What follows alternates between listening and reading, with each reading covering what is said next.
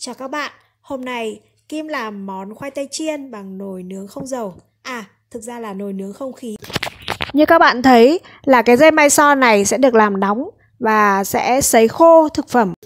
Để chuẩn bị chiên khoai thì Kim đã chuẩn bị khoai tây thái con chì nhỏ và sơ chế sẵn. Cũng như các món chiên hay là nướng thì trước hết chúng ta nên khởi động cái nồi chiên này một lúc khoảng độ 5 phút để cho nồi nóng. Sau đó thì kim tra muối vào trong khoai tây. Ồ không hiểu là sao hôm nay lại tra hơi nhiều. Hơi mặn một chút thôi. Rồi tiếp là cho dầu ô liu trộn một chút vào. Dầu ô liu thì nó thơm hơn. Tuy nhiên nếu không có dầu ô liu thì chúng ta có thể dùng dầu ăn để cho khoai đỡ bị khô.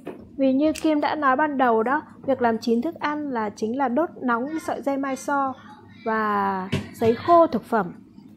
Do đó nói là nồi chiên không dầu, nhưng thực ra lần nào chiên thì chúng ta cũng cần phải phết một chút dầu ăn hoặc trộn một chút dầu ăn để cho thực phẩm đỡ bị khô, dai, rồi róc lên cho đều gia vị và dầu ăn. Đã hết thời gian làm nóng rồi và bây giờ Kim lấy nồi ra và cho khoai vào để chiên.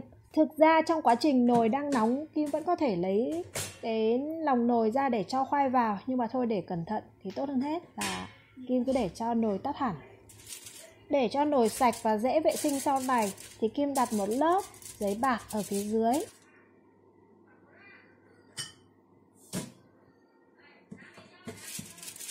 Lòng nồi dỗ tổ ong để cho khí nóng từ dưới thổi lên thức ăn cho chín đều Tuy nhiên là trong quá trình nấu thì chúng ta vẫn phải mở ra để đảo và lật thức ăn.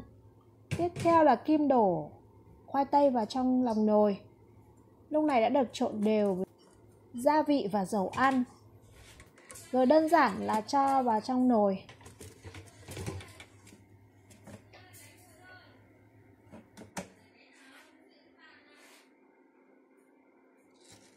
Đặt nhiệt độ ở khoảng 160 độ C, rồi quay trong vòng 5 phút sau 5 phút thì Kim lấy ra đảo đều lên và Kim thấy có một số miếng khoai đã bị cháy ở phía đầu có thể là hơi quá lửa. Rồi tiếp tục cho vào nồi chiên tiếp.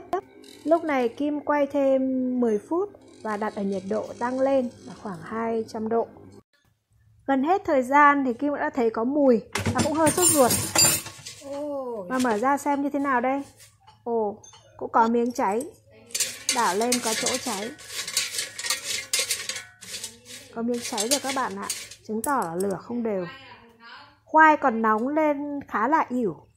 Phải chờ một lúc để khi mà khoai nguội thì chúng ta mới biết là khoai chiên có giòn hay không.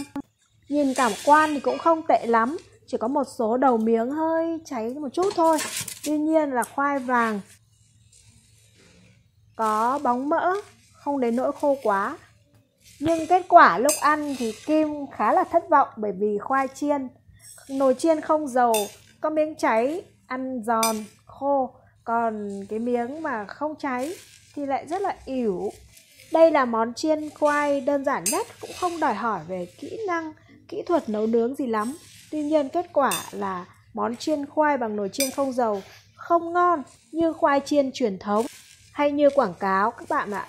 Vậy còn các món khác thì như thế nào? Kim đã học được món sườn chiên, nồi chiên không dầu và để lần sau Kim thử xem sao nhé. Mời các bạn tiếp tục theo dõi.